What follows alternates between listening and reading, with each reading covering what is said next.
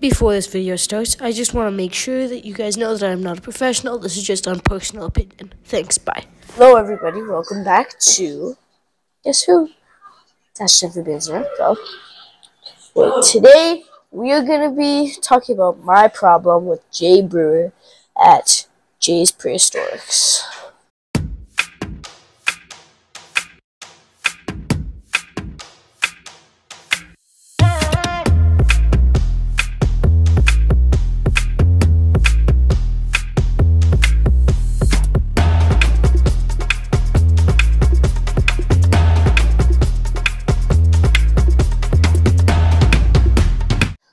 Okay, so first, before we begin, I would be holding Sherman, but he pooped. So I was going to hold Sheila, but then I forgot to grab her when we started.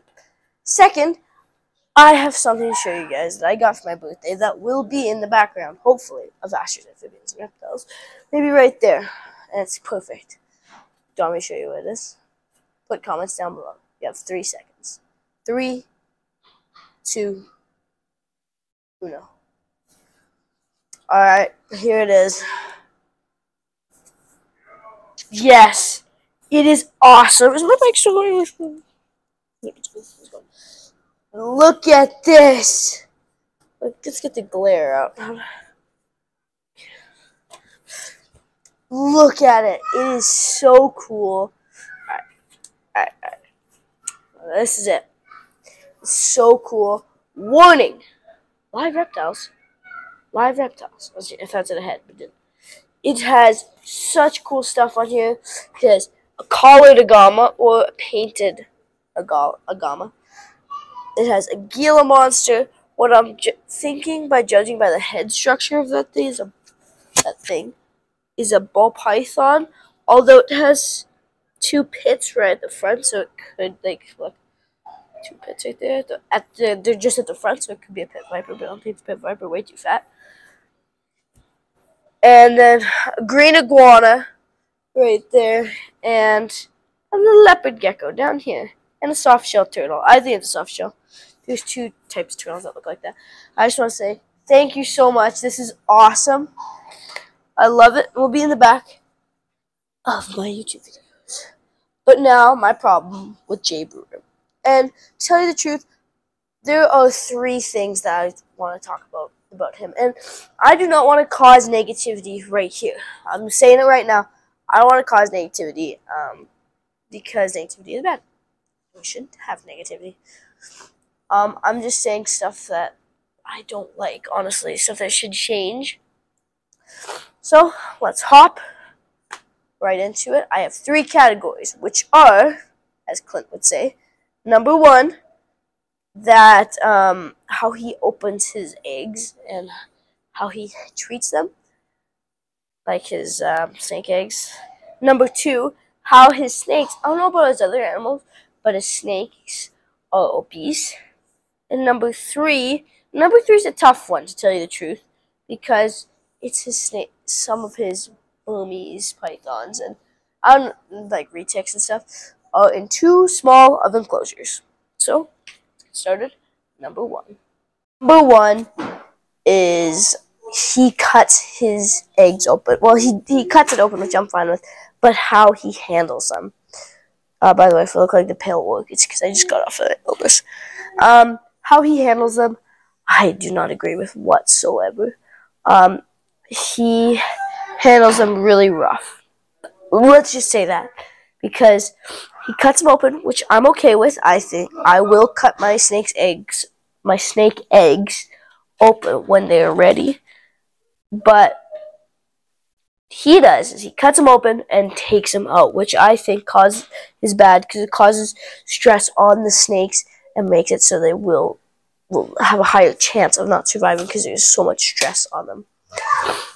And I do not agree with that whatsoever. And I don't think that you should take the eggs out. I think you should cut them open, but let the snakes take their time.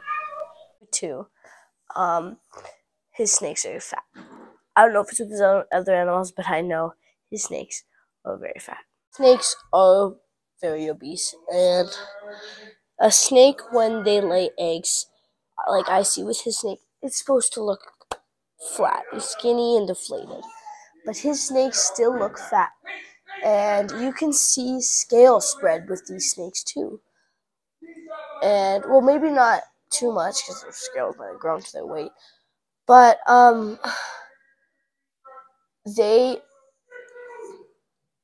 it's just when they're so f- obese like that, it's not good. It's not healthy at all, and they will not live as long as they are said to live, which is 20 to 30 years and maybe upwards of 40 years.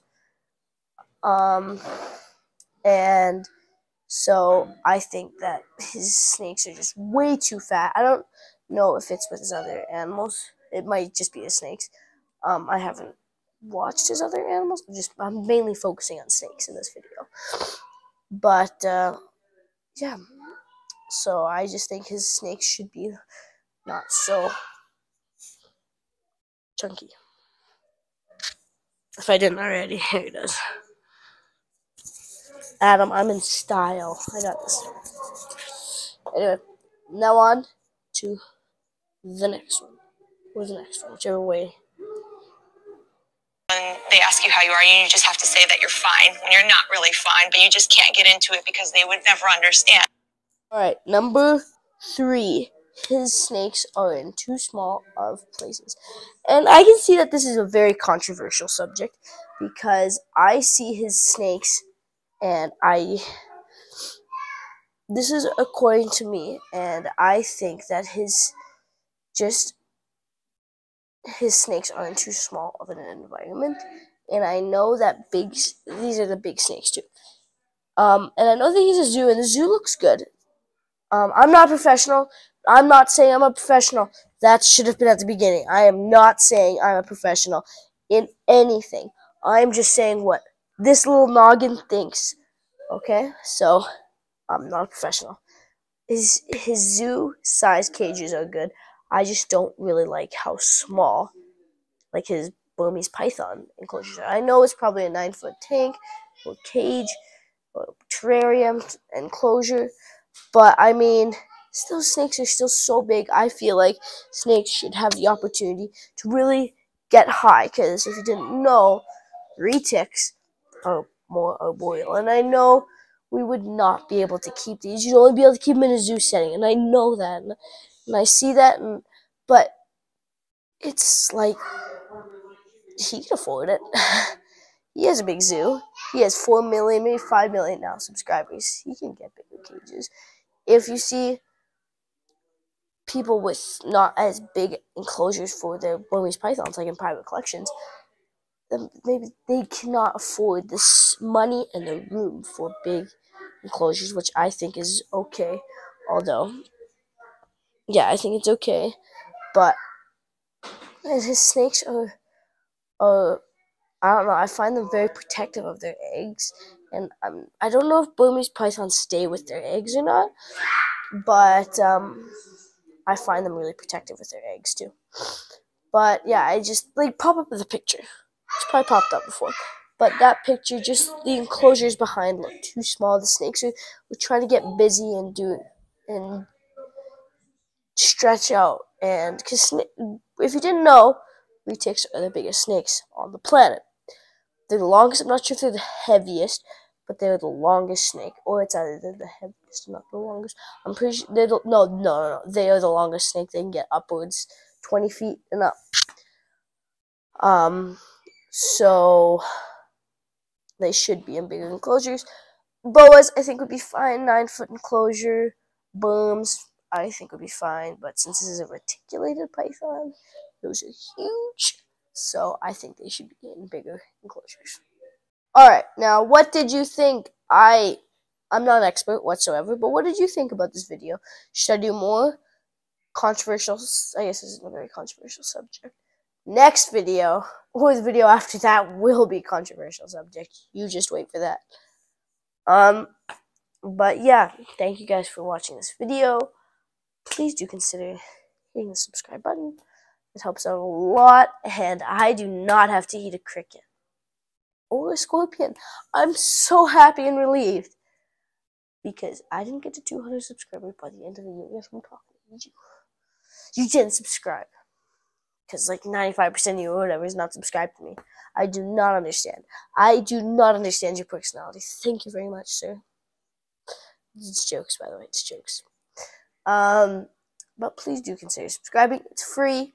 Um, and yeah, hit, hit like, ring the bell icon, because I post videos on random occasions now.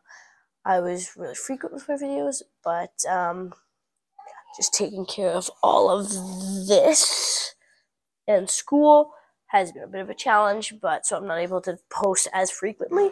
But videos will still be coming out, hopefully on a more regular basis. And yep, I got a lot of good ideas, and I need to do a lot of filming tonight because it's uh, it's a nighttime. So let's go get to filming, and I'll see you guys in my next video. Bye.